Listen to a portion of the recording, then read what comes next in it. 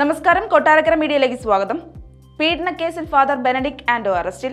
ഇന്നലെ നാഗർകോവിൽ വെച്ചാണ് ബെനഡിക് ആൻഡോയെ സൈബർ ക്രൈം പോലീസ് അറസ്റ്റ് ചെയ്തത്. കന്യാകുമാരി ജില്ലയിലെ കൊല്ലങ്കോടിനടുത്ത് ഫാത്തിമ നഗർ സ്വദേശിയാണ് ബെനഡിക് ആൻഡോ കുഴിത്തുറ ആസ്ഥാനമായി പ്രവർത്തിക്കുന്ന സിറോ മലബാർ കത്തോലിക്ക പള്ളിയിലെ വൈദികനാണ്.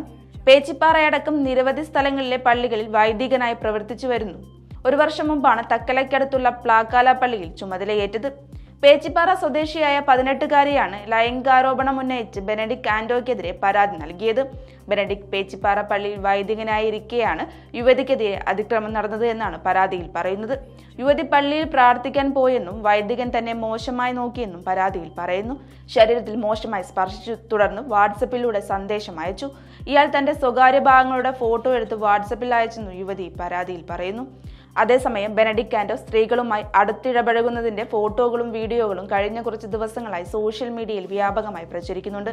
കൂടാതെ പള്ളിയിൽ പോകുന്ന സ്ത്രീകൾക്ക് അയച്ച വാട്സപ്പ് ചാറ്റുകളുടെയും അശ്ലീല വീഡിയോ കോളിന്റെയും സ്ക്രീൻ ചാറ്റുകളും സോഷ്യൽ മീഡിയയിൽ പ്രചരിക്കുന്നുണ്ട്.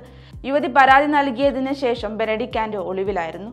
ഇതേ തുടർന്ന് ഇയാളെ പിടികൂടാൻ പ്രത്യേക സംഘം രൂപവൽക്കരിക്കുകയും പോലീസ് ഡിപ്പാർട്ട്മെന്റ് അന്വേഷിക്കുകയുമായിരുന്നു. ഇയാൾക്കെതിരെ അഞ്ച് വകുപ്പുകൾ പ്രകാരം കേസെടുത്തു.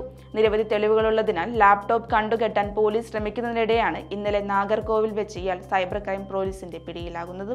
തുടർന്ന് ബെനഡിക് കാൻഡോയെ നാഗർകോവിലെ സൈബർ ക്രൈം ഡിവിഷൻ ഓഫീസിൽ എട്ട് മണിക്കൂറോളം പോലീസ് ചോദ്യം ചെയ്തു.